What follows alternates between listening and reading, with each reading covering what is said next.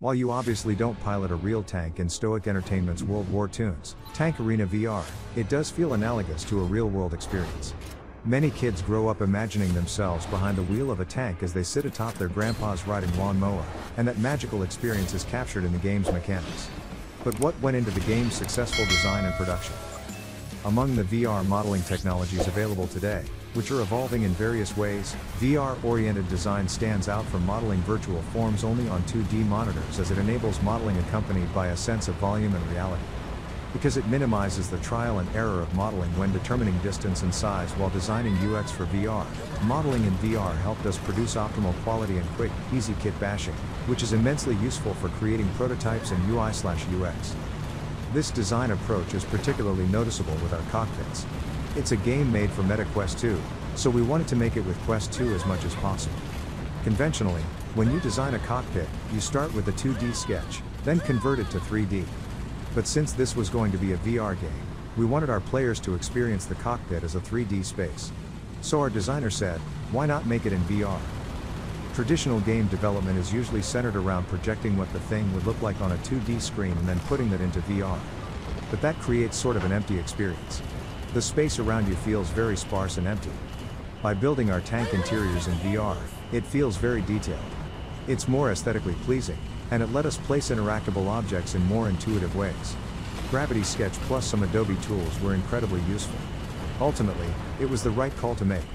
Since this is a VR game, it should be designed from the ground up in VR. During the development of World War Toons, Tank Arena VR, we reviewed many games for reference and had our hopes set high to reach a certain level of quality, then the problem of frame rate came up. We, and many developers, found ourselves with two options, lower the quality or implement new technology like Application Space Warp, App SW, to solve the issue.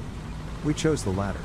Because App SW is a forked engine and not the current official version, we knew there may be unexpected problems that we'd need to resolve. For large objects, we didn't encounter many problems, but with small, detailed objects, we faced some issues with doubling the frame rate. The most prominent problem was the warping of the screen after modifying App SW. Fortunately, Meta's App SW guide was very detailed and helpful, and we were able to modify game design factors like linear structures and shaders accordingly to get incredible results. These kinds of guides are essential for small developers without the capacity to organize an extensive R&D department.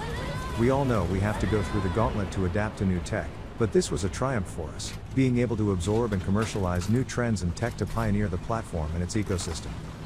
Our game is literally made by VR, through VR, for VR, everything was done with VR in mind from the start. Even though that may be new territory, we're proud that we were able to put in our gameplay features without too much trouble. We wanted to give players the full experience of actually piloting a tank. Outside of the game matches, it's just fun manipulating the objects inside the tank itself. That's one of the things we're really proud of. In the future, we hope to take our lessons learned from developing a vehicle piloting game and use that to develop more advanced titles and share them with the community.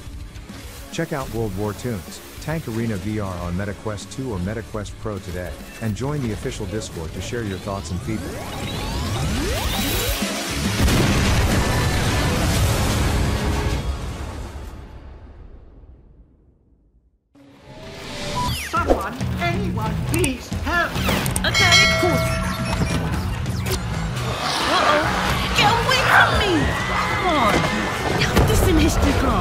No!